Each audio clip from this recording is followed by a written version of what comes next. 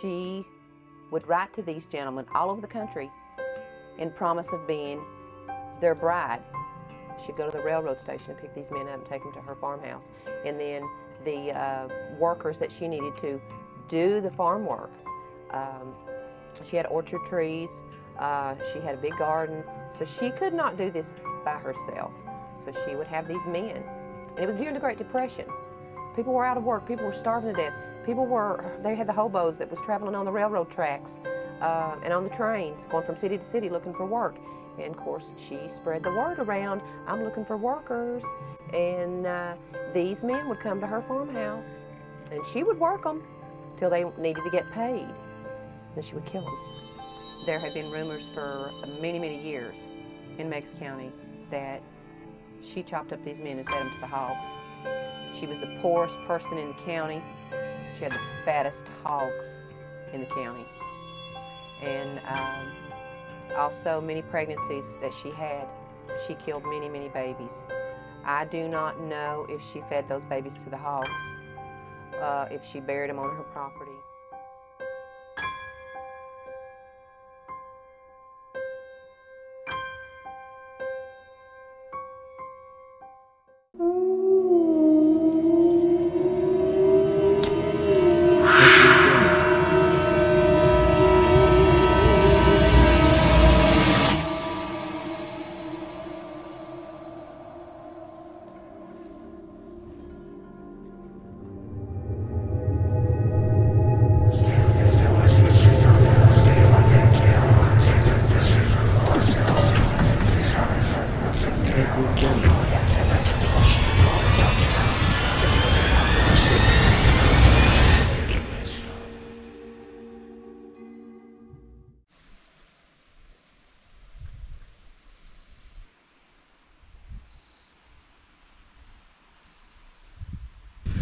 What's up you guys?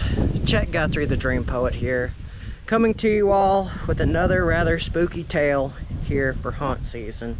And today guys, I am out here on a dirt road in Meigs County, Tennessee. To be more specific, it's Sims Road.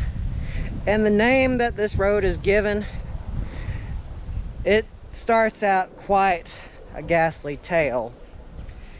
You see, it starts September 21st, 1886. You see on this day, a woman by the name of Grace V. Sims is brought into the world. And this woman, by historical accounts, is perhaps the, one of the most wicked women of Appalachia, or better known as the Black Widow of Meigs County. You see, in order to start this tale, let us dial back to when she was at the age of 13. You see, Grace Sims, her mother died at a young age. And when her mother passed away, well, she was left more or less to tend to the farm.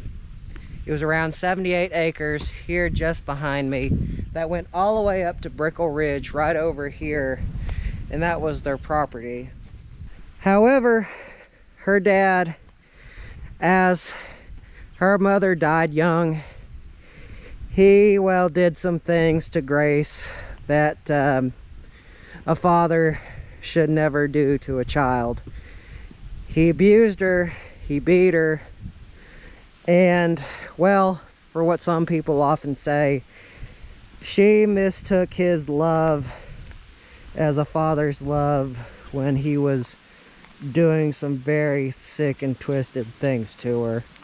You see also in this area, Grace V. Sims.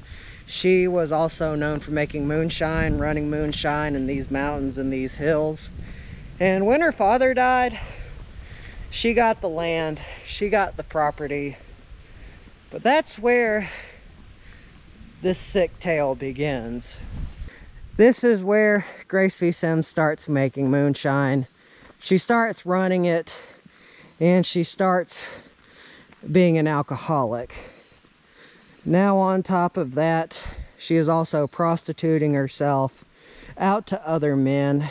And as she is doing this, while prostituting herself, she is also using this as blackmail to get back at these male suitors.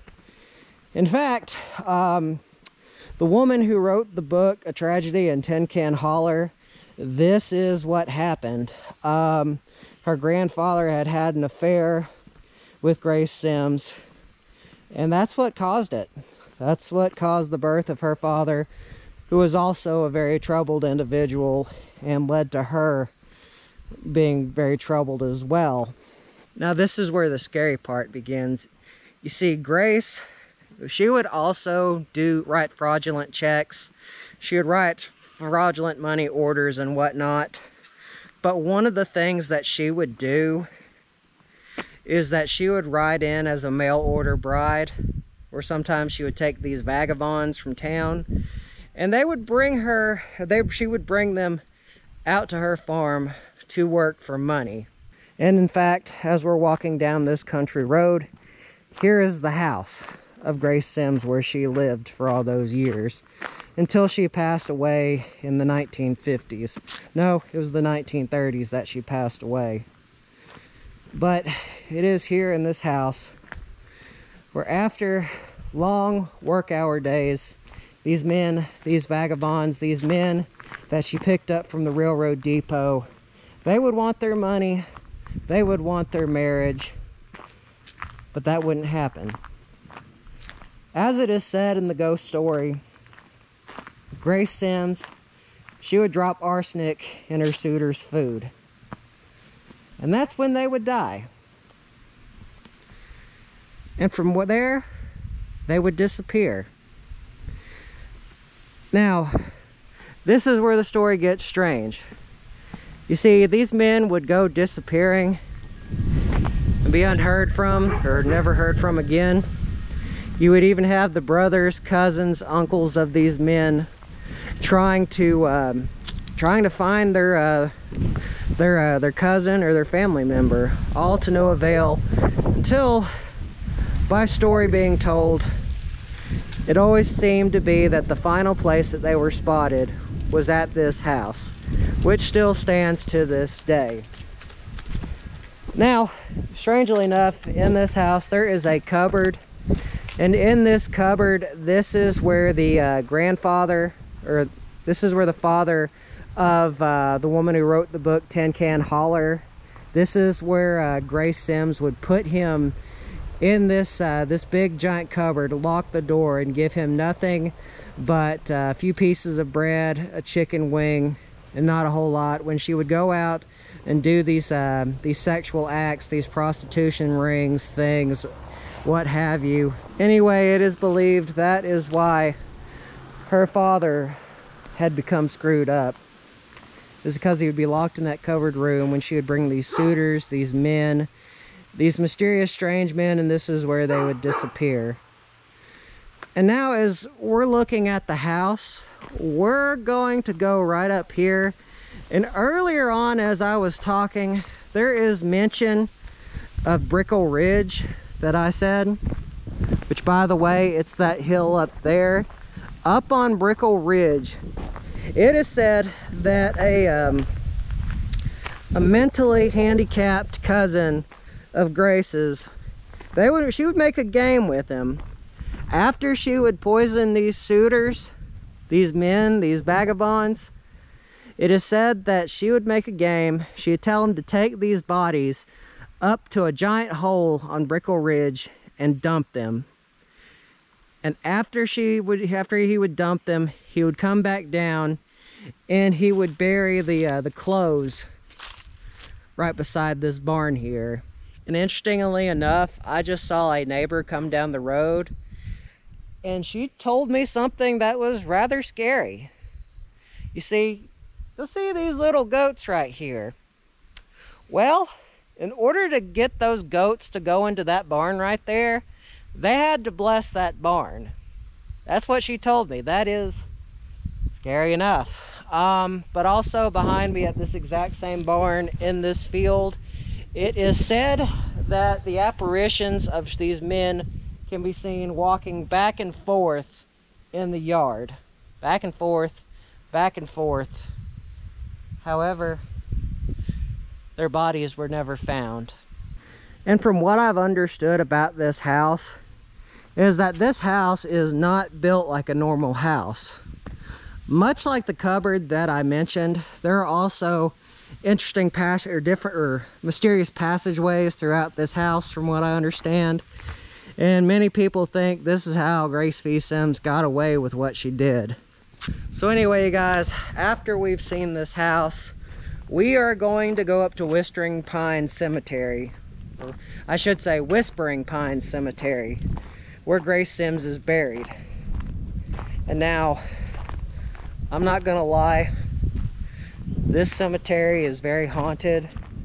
And as recounted by one paranormal, paranormal investigator here in this area, it's not for the faint of heart. So, let's check it out.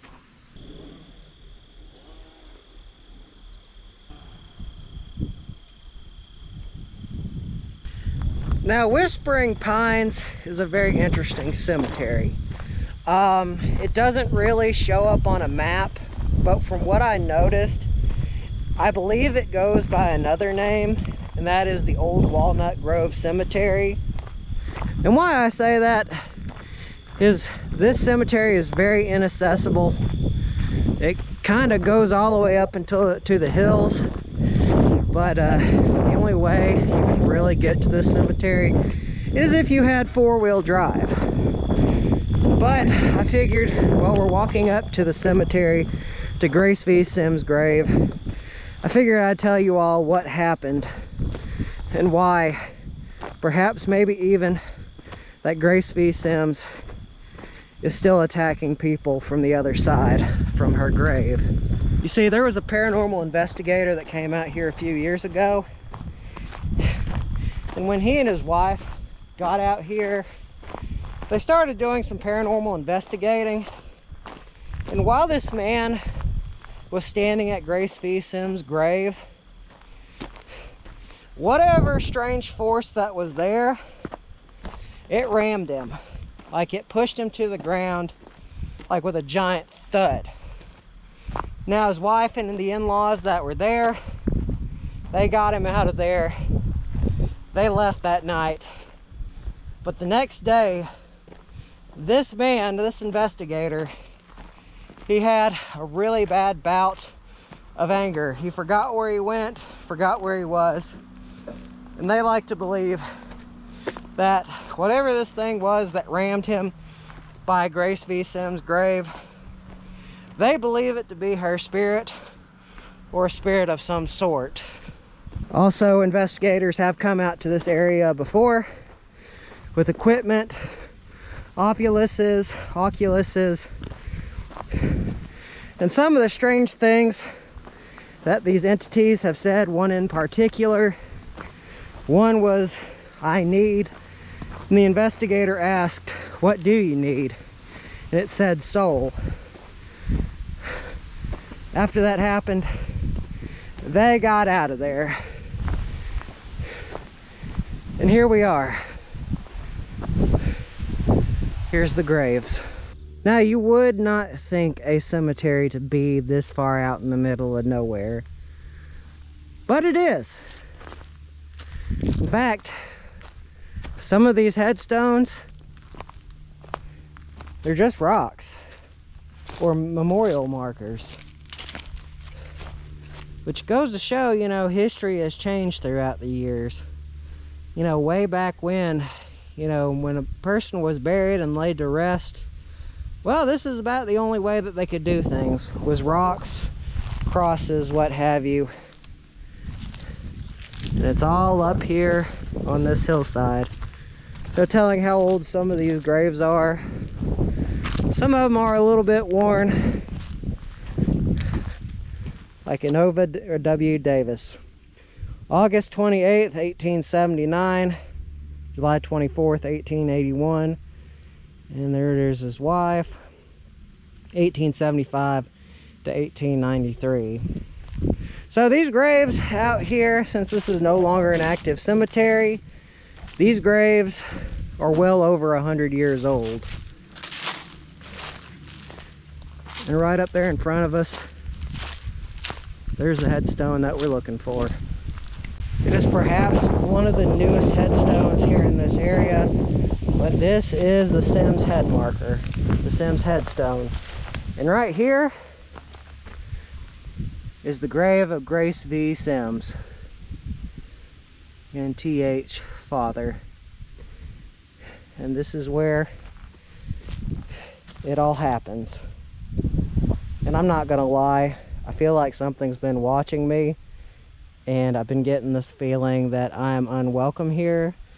So we're gonna get back down to the car. Usually when I get feelings like this, it's it's not a good sign. I do not like being up here.